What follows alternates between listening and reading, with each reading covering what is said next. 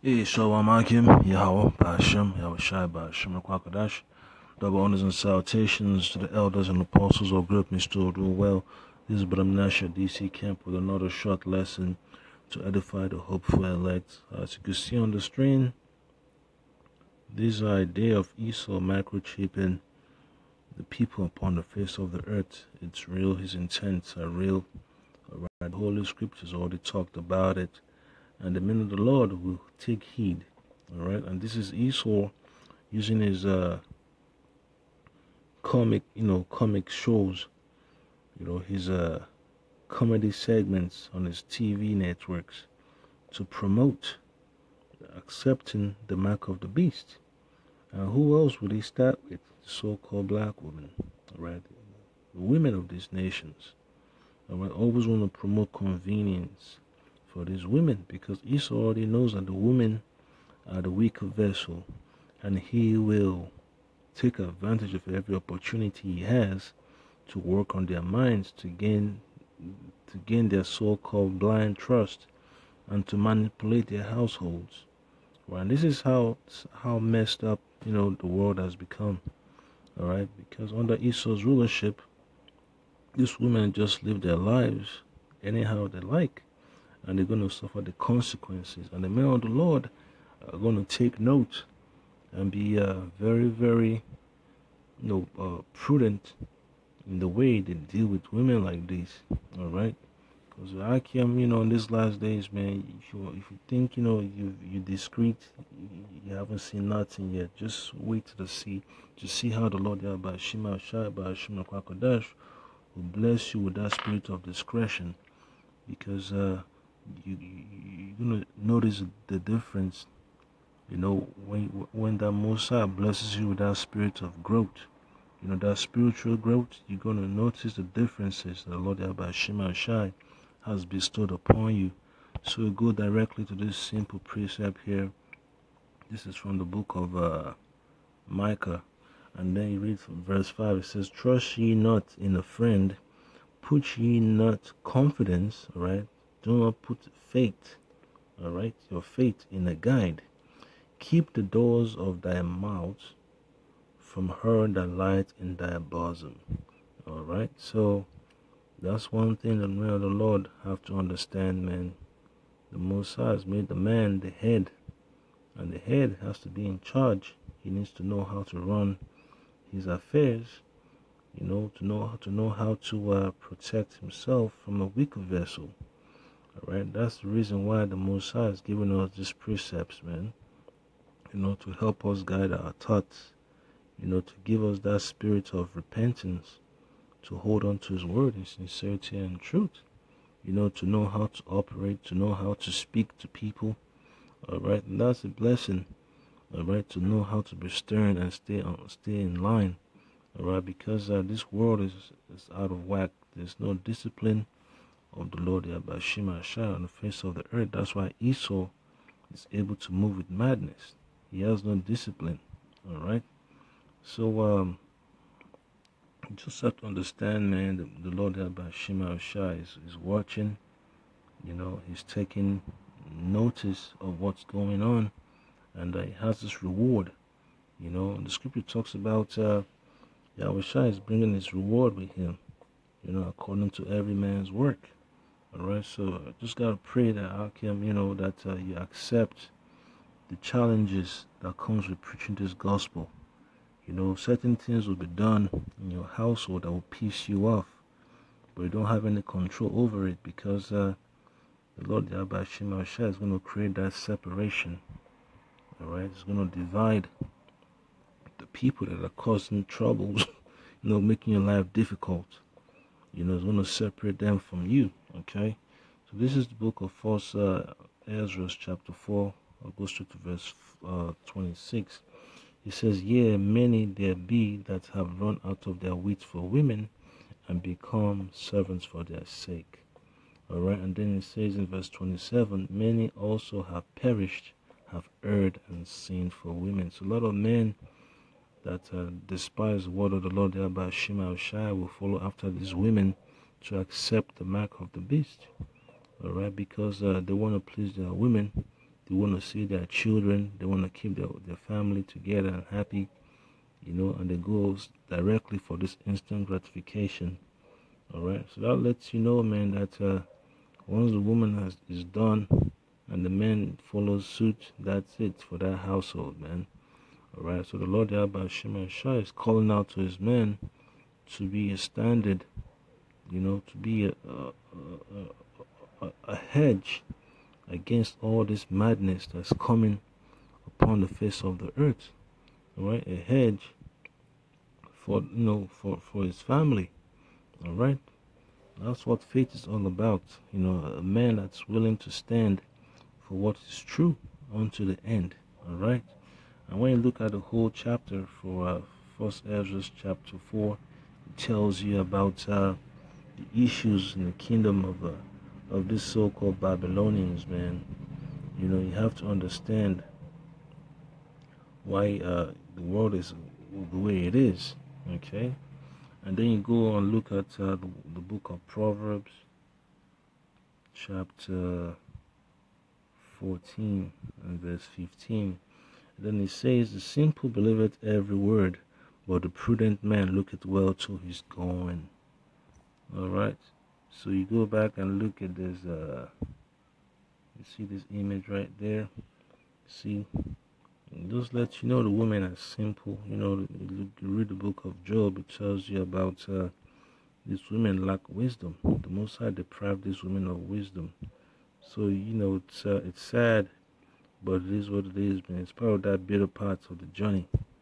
Okay, you just have to accept that uh, a lot of folks will be destroyed for treating the word of the Lord Abashima Ashai as a child's play, as as a comedy, you know. So it's beautiful, man, to see the judgment of the Lord Abashima Ashai on those that take uh, the words of the Lord Abashima Ashai lightly, man. You know, it pisses you off, but at the same time, you just have to understand this is the Most High's operation, you know. So it's going to weed out those that do not have faith from those that have faith. You know, it's bringing that division all right so you just have to be patient you know you have to suffer you know to do this work you know? You shouldn't be ashamed to accept that the, the losses you're to have wouldn't be the losses you're to hold on to. Will be the losses Lord that Bashimasha doesn't want you to have all right so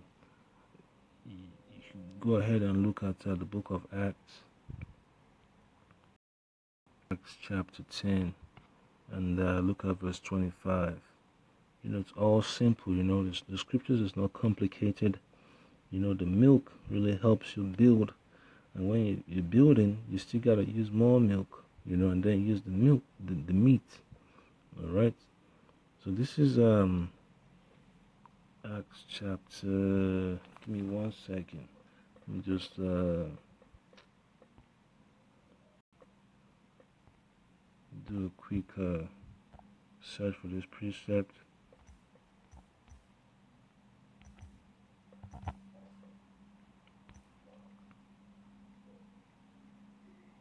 Alright, so this Acts chapter 20, verse uh, 27. And it says, For I have not shone to declare unto you all the counsel of the Lord about Shema Shai. And that's the beautiful thing of, uh, of serving the Lord. You know, you accept the the responsibility of preaching this gospel. All right. And then read verse 28. It says, Take heed therefore unto yourselves and to all the flock over the which the Holy Spirit had made you overseers. That's why the men of the Lord on highways and byways are constantly examining the prophecies that are taking place on the face of the earth. They examine the doctrines that's being taught. You know, what Zabak has done is terrible you know, and the Lord Abba Shema Shah will rebuke him for that, you know. So then it says to feed the church of Yahweh, Ba'ashem Yahshua, Ba'ashem Kakadash, which he had purchased with his own blood. Alright, and that's that's Yahweh Shai. You know, he purchased the the, the, the, the elect with his blood. You know, he sacrificed his life for the salvation of the elect. And for someone to say that the RFID chip is not the mark of the beast, You know, they, they're taken away from the validity of the gospel. You know, they're putting the Lord Yahweh Shai to open shame, and that's not what the Lord Yahweh Shai expects his prophet to do. Those that claim to be his prophets, the Lord Yahweh Shai doesn't expect them to do that. Alright?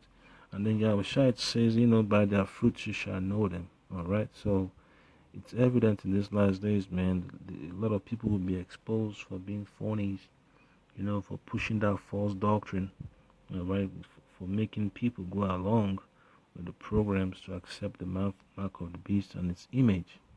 Alright, and then you look at the book of uh, Ecclesiastes, chapter 12, and then you look at uh, verse 13, and then he says, uh, Let us hear the conclusion of the whole matter.